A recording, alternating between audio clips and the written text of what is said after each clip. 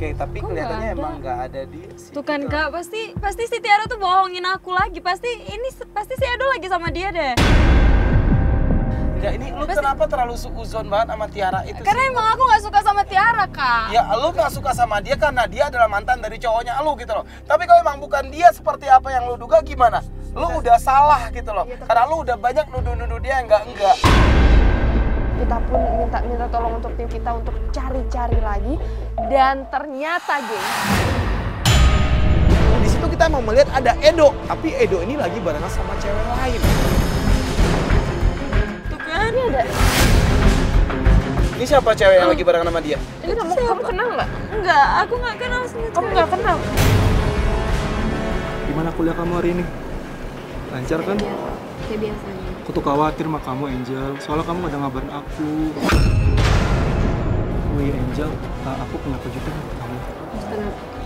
Hmm, tapi sebelum aku kasih kejutan buat kamu, kamu tutup mata dulu, oke? Bentar, tutup mata dulu.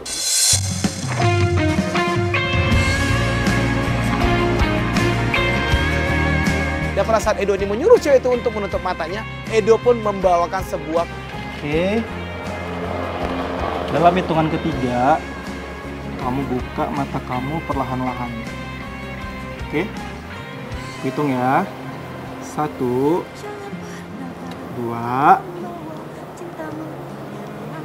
tiga. Happy birthday sayang.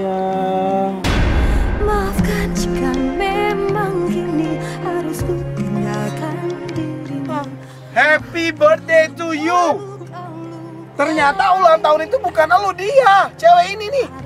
enggak ini ini ini cewek itu siapa Aku nggak tahu karena Yang aku juga pasti nggak cewek kenal ini sama adalah orang cewek yang dia sayang gitu karena dia ngasih kue yang dia beli kemarin itu buat cewek ini.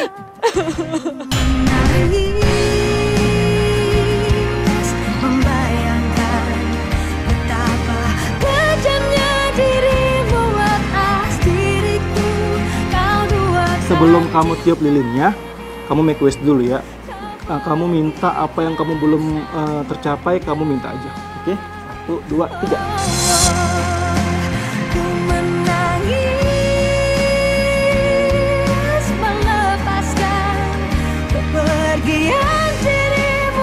Oke, enggak, ini berarti emang diomongin sama si si Tiara emang bener cowoknya lu lagi ada di sini gitu loh. Tapi ya mau nggak mau kita akhirnya ngeliat di sini kalau dia ngerayain ulang tahun orang yang dia sayang dan orang itu bukan elu.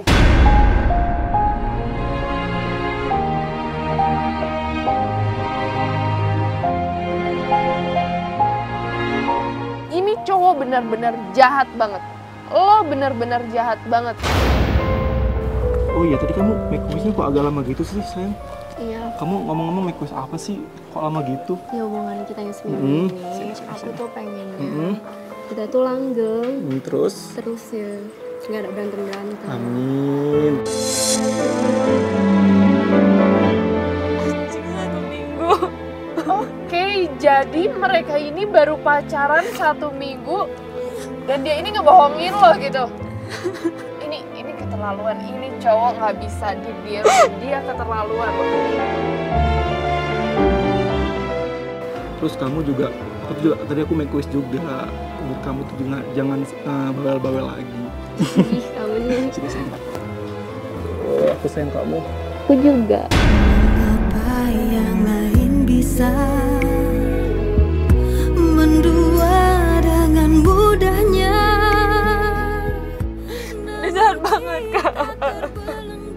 Kenapa sih?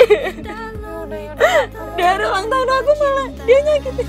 atas nama cinta hati ini tak mungkin terbagi Di sini Cici benar-benar nangis. Dia pun galau banget, gengs. Ya ini akhirnya ya semuanya terjawab gitu loh kenapa dia jadi berubah sikap sama lu, kenapa dia nggak mau ketemu sama lu, kenapa ya dia susah untuk diajak ketemu sama lu ya karena emang udah ada cewek lain gitu loh. Kamu makannya nggak boleh banyak-banyak kan ini ini ntar kamu gemuk. Eh, eh, eh. Itu benar-benar. Kamu belepotan sayang. Aduh, kasihan banget.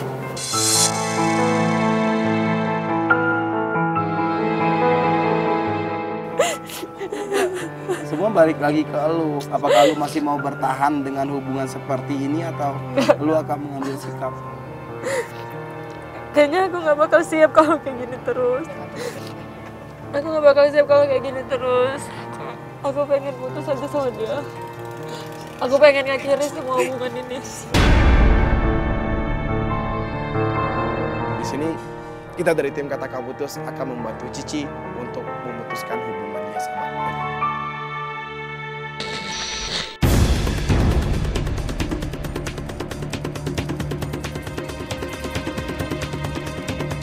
Oke geng, sekarang kita pun udah membuatkan momen di mana Cici ini pingin mengatakan putus. Kita udah menyiapkan sebuah skenario untuk Cici nantinya akan memutuskan hubungannya sama Edo dan kita pun sekarang sudah ada di tempat tongkrongannya Edo. Tuh, meskipun di sini cuaca juga kurang memungkinkan tapi ya menurut Cici hubungan mereka emang harus benar-benar clear gitu loh. Dia emang harus ngejelasin sama Edo kalau dia nggak bisa diduain sama Edo dan nggak bisa untuk dikecewain lagi sama Edo gitu loh. Nah sekarang Cicinya udah ada di posisi yang sudah kita tentuin. Aku emang nggak ada feeling untuk menang di tim itu soalnya. Gimana kamu gimana kemarin tuh? Wih, keren keren keren. Dan di sana pada saat kita udah memastikan ada Edo di tempat tongkrongannya itu, datang seorang pengamen di sana. Wih, keren keren keren. Gimana gimana? Saya akan menyanyikan lagu di mana saya sama mantan saya pernah ini sih. Saya ingin menyanyikan lagu kenangan saya sama pacar saya dulu. Kau boleh acuhkan diriku dan anggap ku tak ada tapi takkan mengubah perasaanku kepadamu Dan di sini Edonya pun masih belum ngeh dengan dengan pengamen tersebut. Kak, maaf ya kak. Yakin pasti suatu ngasih lima ribu loh kak. Kakak maunya apa? Dikasih duit sama Edo tapi ini pengamennya nggak mau pergi juga. Oke dia udah mulai marah, dia udah mulai kesel dan si pengamen bilang sama Edo kalau gua maunya Kak maaf kak, kakak maunya apa?